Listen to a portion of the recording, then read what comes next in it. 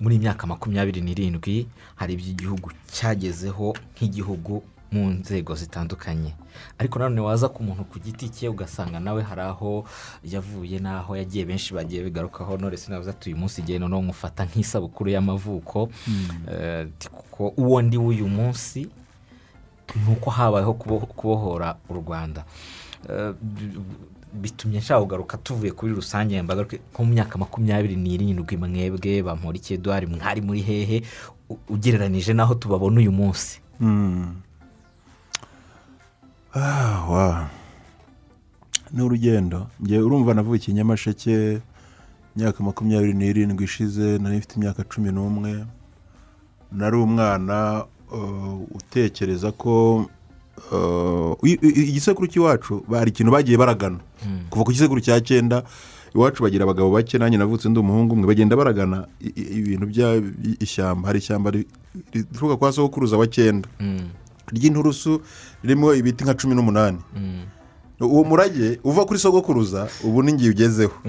Nararirebaga rero mu myaka cumi n'umwe nkumva ntegereje igihe gusa sogokuru azavugira ko ari iryanjye kuko papa yapfuye mfite imyaka itandatu. Ibitekerezo byanjye ntibyasohokaga iwacu ngo numve nagera kuri santere y'ahantu hitwa ikibogora nabonaga ari kure cyane cyane.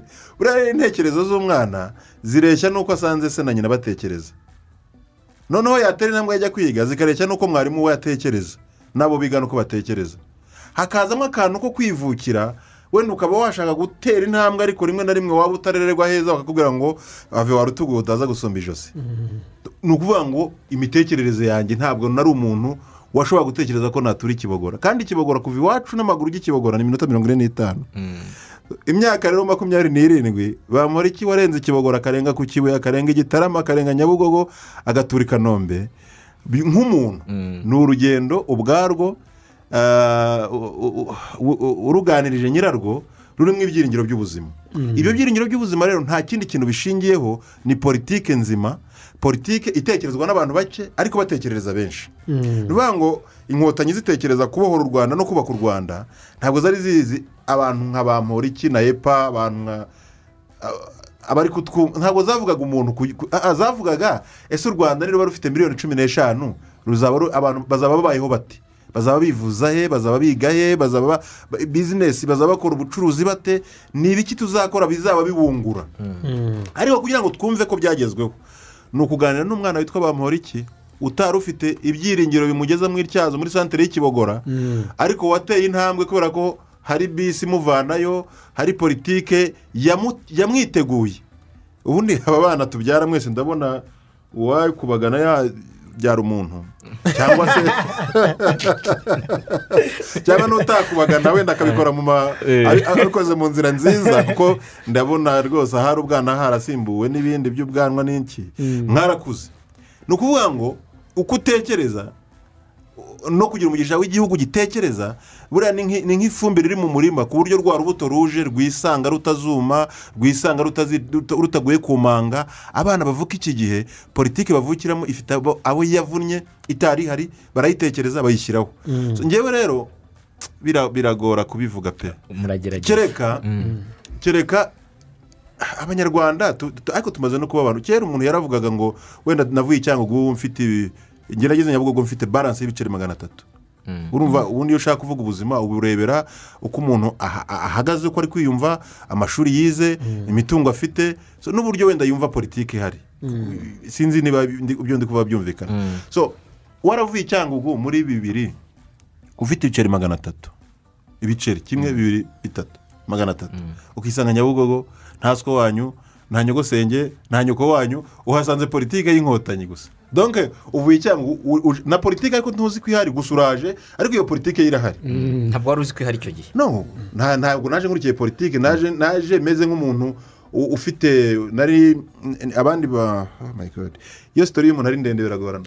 Njyewe muri toronkome nta- ntabwo nagize amahirwe yo kujya kwiga mu wa kane niga mu wa gatatu baramfunze nyine bagenzi banjye ba- batanu kubera impamvu zari zihari eh, batwitiranyije n'ibisambo badufungana na byo eh, icyumweru cyose badufungura toronkome bamaze kuyikora. So abana bari bafite ubushobozi bajya muri pirive noneho ngewe nzi kigali.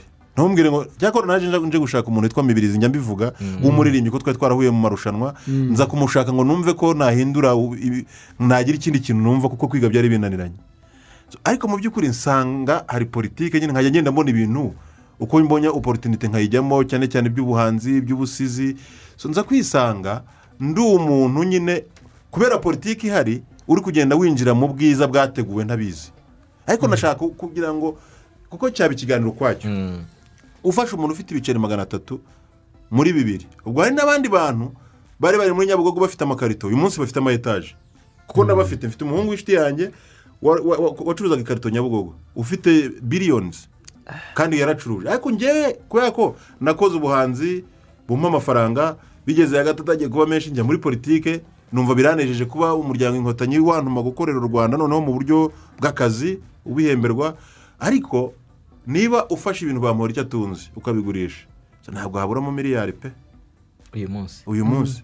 Ari wari ufite ibiceri magana ibiceri atatu. magana atatu. Nta ahamagara noneho ugiye gusha- ugiye gushaka umuntu yahemukiye yagambaniye yibye ngo abigereho. Byakubera ubushakashatsi watakazamo amafaranga gusa. Ariko ntacyo wabona. Mm. so ni ukuvuga ngo nta anko nta anti nta nyirasenge nta nyirarume nta muntu yaje kuzungura. Ibiceri magana atatu yasanze hari igihugu uh, gifite politiki. Mm. ituma umuntu utekereza yabaho. Bivuze iki rero? Biravuze ngo uwo muntu umuganiriye Mm. N'abandi ba- bakubye hari abari bafite ibyo biceri wenda batunze miliyari nk'eshanu Mm. njye nivugiye ibyanjye kuko ibyanjye ndabizi Mm. ubwo urumva urwo rwanda rurimo abantu ba- babashije kugira icyo bageraho babeshejeho abandi kuko kuvuga ngo umuntu afite miliyari eshanu afite miliyari icumi buriya nta nubwo ari ukuvuga ngo arayaryamamo cyangwa ari kuri banki Mm. yatanze ubuzima afite abantu icumi cumi na batanu makumyabiri bakora batunze imiryango ba- babi- babikuye ku kuba hari ibyo yatekereje akora. Nabo bazatanga imirimo mu myaka icumi. Mm. kwibohora k'u rwanda kurimo ubuzima bufatika. Ibi bintu tureba muri kigali nageze kigali muri bibiri. Mm. In- inzu zari kigali nyinshi zareshyaga n'abantu. Noneho inzu zihari kuzireba ni ukurarama biriya ni ibikorwa bishingiye kuri politiki nziza ariko by'ikimenyetso cyo kwibohora nk'urugendo rugana ku bukungu bubereye u rwanda. Nkurikije urugero utanze uti igihe nageze mu- muri bibiri muri kigali n'ibiceri magana atatu uyu munsi ufashe ibyo mutunze byose ushobora kubonamo miliyari. Eh, atari ko nasanze politiki ubwayo yari ihari. Ariyo yatumye ugenda ujya muri ibyo byose ukajya mu hanze ugakora- ubyoroheje Eh. nashoye ibiceri magana atatu muri politiki nziza. None ubu ngubu maze kungukamo miliyari irenga. Kandi ku myaka nka mirongo itanu Eh. ubwo zikwiye kuzaba ziri nk'icumi kandi zo mu nzira nziza. Wasobanura yaba kuri televiziyo na radiyo icyo ni cyo nshaka kubaza rero. Usibye politiki nziza washoyemo yari ihari. Eh. wowe byagusabye iki? Icya mbere byansabye kuyemera Mm. kwemera ko iyo politiki ihari. Ikindi buriya nk'abantu bakiri bato uh, abakurambere bacu ntabwo baryaga imbuto. Niba ibiceri magana atatu byarambereye imbuto narihanganye ndayibiba. Nejeje nongera mbika imbuto. Buriya hari ukuntu nibuka nka nko muri bibiri n'umunani bibiri n'umunani mbuwa mbere muri amerika mu bintu byo kwandika amafilime bamembye ibihumbi mirongo itatu by'amadolari. Sinakuramo n'igiceri cy'icumi. Ngo nkwe ni- nisengerere fanta ya oranje mera nk'aho nyahawe nanjye ndayabiba ariko ibyezemo uyu munsi nanjye mbirebye nde- ndeba nk'icyo cyemezo nafashe. Cyo kutagura ikibanza cyo kutayagura ivatiri cyo kudahamagara abantu ngo twishimire ko nabaye wa mbere muri amerika. Abana aya mafaranga ngiye kuyabiba. Na niyera zere ntabwo zarumbi ni ukuvuga ngo bino bintu abanyarwanda bankurikiye bambabarire twumve neza ko umeze nk'uri gutanga urugero kwitangaho urugero ubyumvishe nawe wagira ngo umuntu arirata. Ariko njye nagize umugisha wo kuba nava muri amerika mba mu nzu ya bitanu. Ya nzu ugeramo ugasanga umuntu abana n'igitanda n'inkweto n'imbabura n'isafuriya. Wowe n'ibyawe mubana mwaramenyeranye mwaramenyeranye noneho wabona wabona miliyoni hafi mirongo itatu uyashyize mu- uyu munsi wenda kugeza ari nka makumyabiri n'eshanu ntuterwe n'ikintu kivuga ngo ujya kuba mu nzu y'ibihumbi ijana. Ukemera kuba muri ubwo buzima kugira ngo icyo ubonye kikubere imbuto. Buriya rero iyo wamaze gutekereza ko hari icyo ushaka kugeraho ukareba icyo ukeneye ngo ukigereho ukihanganira ko ugatsinda none ngo hadacura ejo ugerayo. Ingorane tugira ni uko hari igihe none hacura ejo. Mm. ariko iyo wagize amahirwe ejo hashize ntihabe haracuze none. None n'ejo hashize wabiteranya ugakomeza kubibyazamo icyo wabibira ngo ejo hazagerweho. Ejo uhagera wemye. Mm. njye numva ari uko byangendekeye. Nanze ko none hacura ejo nzahora nanga ko none hacura ejo niyo naba nzi ngo ejo ubuzima bwanjye bwo mu isi buzarangira. Sinzemera ko none hacura ejo kuko ejo nzahasigira abanjye Mm. bivuze neza uti kuriya gushora ibiceri miro- magana atatu uyu munsi bikaba byariyongereye byarabaye ibintu byiza kandi byumvikana binatanga icyizere. Ni inkuru nziza kandi ntekereza ko yigisha cyane. Ariko nk'umuntu urimo kutwumva none ahangaha nawe wenda wibereye ahantu mu cyaro runaka uyu munsi igishoro cye kiba ikihe kuko ya politiki irahari yarakomeje no kugenda yaguka uno munsi washora iki? Urubyiruko rurimo kutwumva nonaha ubundi dukwiye kuzaba igihugu kitagira ingorane nyinshi Mm. ariko aho ingorane ziri.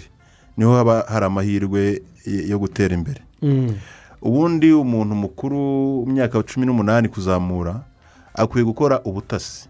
Agatata akaba ariko aha hantu ntuye hari izihe ngorane? Akazireba noneho yavuga ati ese izi ngorane zambera amahirwe ziti?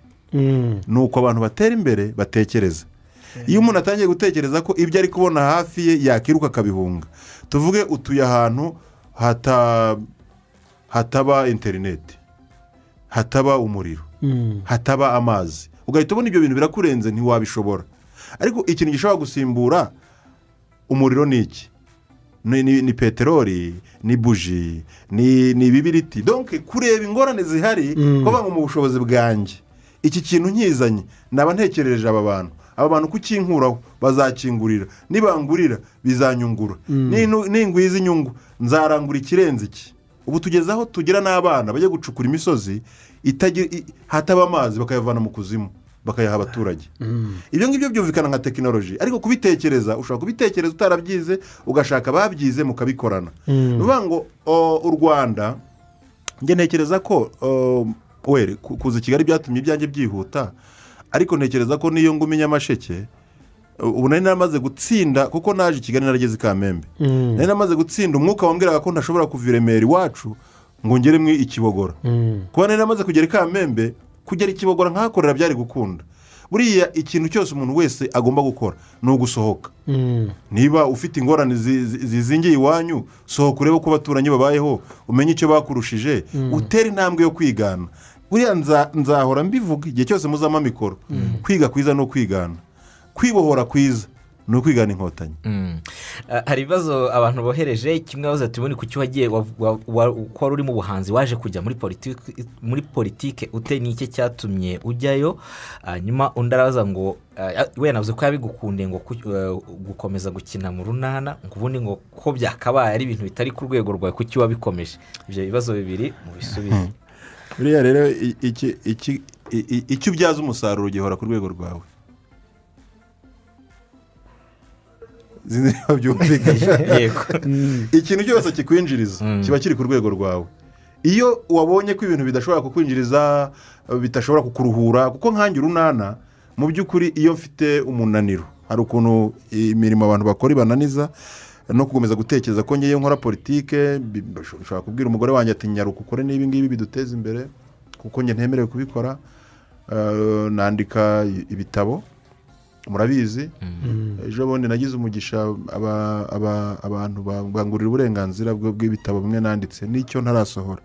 Ariko ndakubwiza ukuri ah, amafaranga bampaye ni menshi pe. Ni menshi.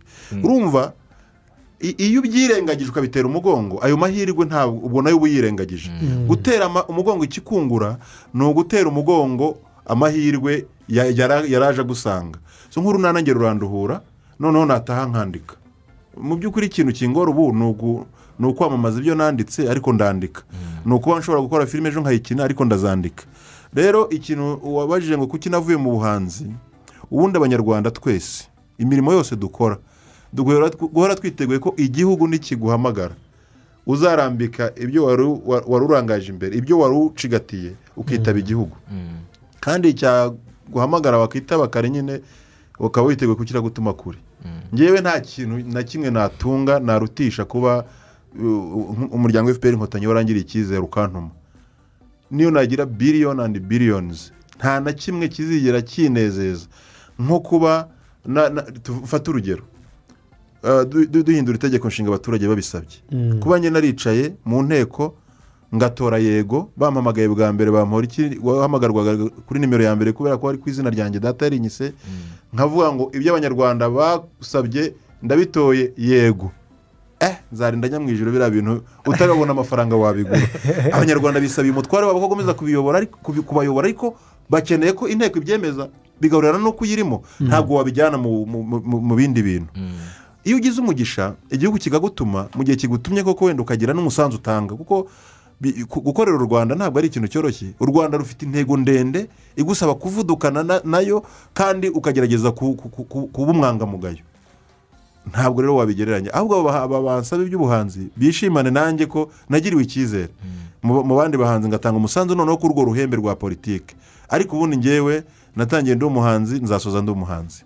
Ibi biragoye ko nakubwira ngo nzagira imyaka mirongo itandatu mirongo irindwi nkora ibya politiki. Nzaba ndi umuhanzi kandi nzaba ndi umuhanzi mwiza pe. Ufite nu- n'ubwo bunararibonye bwo kuba nara- narataramanye n'abanyapolitiki narabaye mu biganza by'umutware wacu perezida wa repubulika paul kagame. Buriya nzahanga neza buriya nzahanga nyine ifite aho mvoma kutagira isoko birakagira yego iminota iraturangiranye. Burya se? Iri kujya neza neza. Ariko eh, turagira ngo mugire ubutumwa mwongera kugenera abatwumva by'umwihariko urubyiruko bujyanye n'uyu munsi eh, wo kwibohora. Murakoze cyane. Reka mbere ku rubyiruko. Umukuru w'u rwanda mu bihe bitandukanye yatu- yaduhanuye ko turi inkingi ya mwamba ubukungu bw'u rwanda bwegamiye. Mu cyerekezo makumyabiri na mirongo itanu buriya icyizere cyose kiri mu rubyiruko. Cyose ariko. Politiki y'u rwanda yizeye urubyiruko ababyeyi b'u rwanda bizeye urubyiruko umukuru w'u rwanda yizeye urubyiruko ibintu byose biri mu rubyiruko. Kugira ngo tuzabigeremo ni uko tugendera ku kubaha abanyarwanda buriya tugira umuco wo kubaha no kumva iyo umuntu akugiriye icyizere wanga ko cyapfa ubusa. Icyizere igihugu kidufitiye icyizere ababyeyi badufitiye icyizere umukuru w'u rwanda dufitiye twe kugipfusha ubusa. Twige twigane tube bazima. Ikintu cyose cyayobya ubwenge tukirinde. Kizatuma tugomeza kuba inkingi ya mwamba? Ubukungu bw'u rwanda rwe- rwegamiye ni uko ubwenge bwacu butazayoba. Iki cyorezo dufite cyitwa kovide twirinde kwandura no kwanduza aba bakuru badufitiye icyizere. Kuko hari ababyeyi benshi tumaze gutakaza kubera ko abana bazerereye bakagenda nabi bakajya mu bidafite umumaro bakabanduza. Tubihagarike. Urubyiruko rw'u rwanda nitwigana inkotanyi tukibohora. Akantu kose kagiye kukubohoka tukibohora. U- tu- tukibohora buri saha tukibohora buri segonda. Icyo dutekereje kidafite umumaro ugahita ukibohora udategereje kumva radiyo udategereje kujya mu kiganiro ukavuga uti narimboshywe ndibohoye narimboshywe ndibohoye. Kandi ubukungu bw'u rwanda ninjye bwegamiye. Ndababwiza ukuri muzanabimbaze nzaba nkiriho. Nitugira imyaka makumyabiri tugitekereza gutya. Ibihugu bituranye ibihugu tuza ufite mirongo itanu n'umunani. Yego. Eh. ibi muzabimbaze. Ba bandi ba- buzuza ibyangombwa ngo barashaka kujya kuba ahandi. Ibyo bizaba byaracitse tuzaba turi ishema ahubwo hari abantu ba- byaranatangiye ariko. Ese twakoreye u rwanda kugera aho abantu bazajya bavuga ngo ndashaka kujya kuba mu rwanda kubera abantu bo mu rwanda bavunitse bakarugira igihugu cyo kwifuzwa. Ikindi rero wenda ku mu buryo busanzwe munyemerere nshimire inkotanyi zaduhaye izina turi inkotanyi zaduhaye umurage w'ubudaheranwa zidushyiramo n'umurava wo gukotana ari byo biduha ubukungu ari byo biduha imibereho myiza. Uko tumeze uyu munsi ari mwe murakotana nanjye ndakotana n'abadukurikiye barakotana abari hafi n'abari kure uyu murage w'ubudaheranwa. Twirinde kugira ikiduherana kibi ngo kiduherane ahubwo dukore dukotana kugira ngo u rwanda rutere imbere. Abatari mu murongo turimo wo kubaka u rwanda. Muri wa mushinga navuze wo kubaka u rwanda nabo bibohora ikintu cyose cyaba kibaboshye. Yaba intekerezo mbi yaba ingengabitekerezo wavanye iwanyu cyangwa wumviye kuri radiyo zipfuye ibohore uze mu rugamba turimo rwo kubaka u rwanda uhita uvunisha kuko utinda kuza ariko aho uzazira uzasanga ari u rwanda rwawe. Kwibona rero uri gutanga umusanzu uyu mwanya ntekereza ko bizakunezeza. Ubu ngubu n'ibihe bizaza. So munyemerere uh, tu- turi kumwe tuzakomeza turi kumwe. Buri wese nafate ubushake n'ibiceri bike. Ashore muri iyi politiki nziza yo kubaka u rwanda rwa bose. Mu gihe gitoya azaba avuga ibiruta ibyo navugiye hano by'uko imbuto yabibye ye- yeze kuko politiki ihari wayibamo wese yasarura. Imana y'u rwanda ihorana namwe. Murakoze cyane turabashimiye ko mwabanye natwe. Honorable bamporike duhari umunyamabanga wa leta muri minisiteri y'urubyiruko n'umuco mwakoze cyane. Murakoze ndabashimira